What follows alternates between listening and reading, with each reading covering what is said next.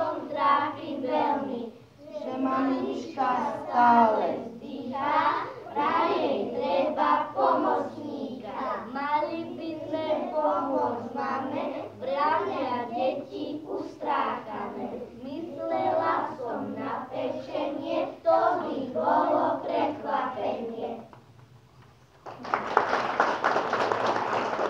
Poďme naspäť a nastúpia deti. Na jedličku